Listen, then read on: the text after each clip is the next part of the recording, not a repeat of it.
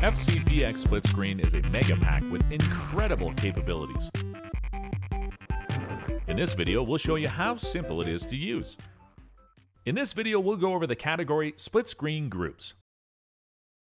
All of these presets use the same controls, and we'll use this preset, Rectangular Group 15, four drop zones to demonstrate. Let's take it from the top.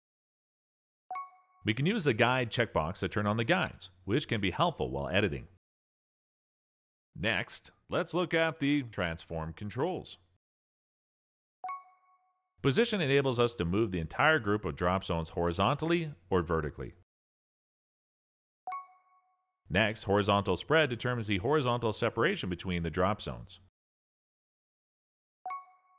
Vertical spread dictates the vertical separation between drop zones. Scale adjusts the size of the preset. Angle rotates the preset. Slant adjusts how far the drop zones will skew diagonally. Lastly, roundness determines the sharpness of the corners. The next section we'll go over is drop zone controls.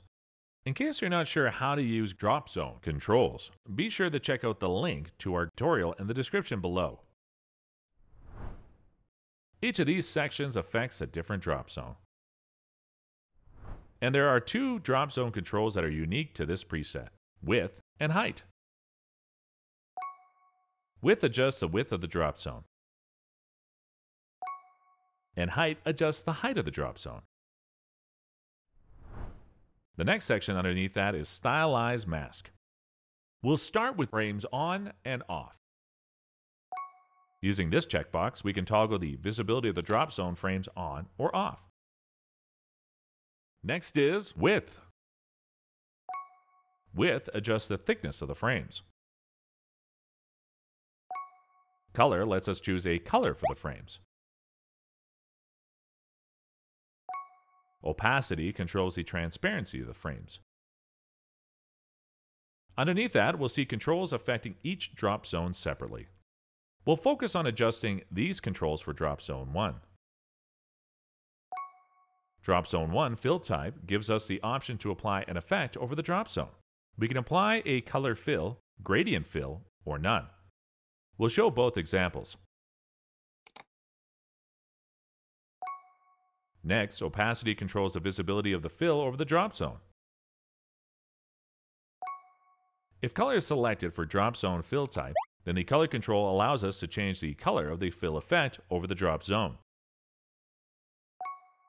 If gradient is selected for drop zone fill type, then we can use the gradient control to change the gradient color of the drop zone fill effect.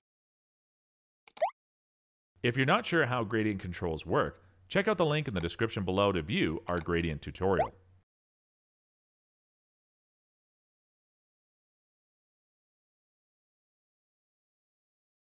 Last but not least, we have the drop shadow controls.